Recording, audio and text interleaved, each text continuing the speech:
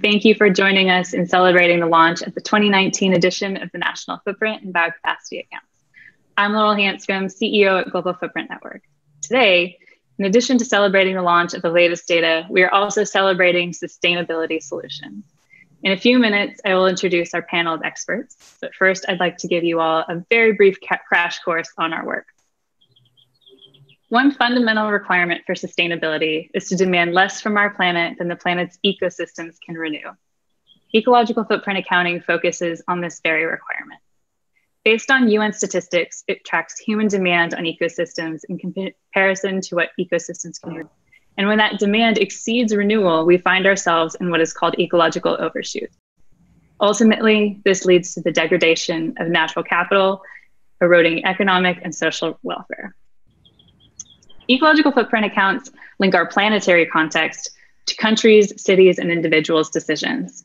Since the early 1990s, these detailed accounts have been leading the leading metric to evaluate one planet compatibility of projects, cities, and countries. They track this by adding up all the biologically productive land and water areas a person, project, or population uses to produce the resources it consumes, house its infrastructure, and to absorb its waste, given prevailing technology and resource management practices. Of particular interest in this calculation is the carbon footprint, which makes up roughly 60% of the total ecological footprint. The National Footprint and Biocapacity accounts track footprint and biocapacity for over 200 countries and regions going back to 1961. This year, the results are available through 2016.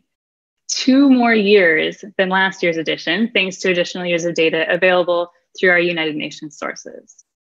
One key finding in the new edition is that humanity's carbon footprint dropped 1.4% between 2014 and 2016, bringing the total ecological footprint down 0.5% over the same time period.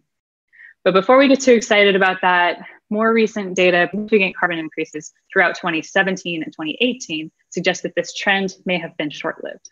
To dig deeper into these trends and much more, you can check out all of the results from the 2019 edition available on the Ecological Footprint Explorer, our open data platform at data.footprintnetwork.org.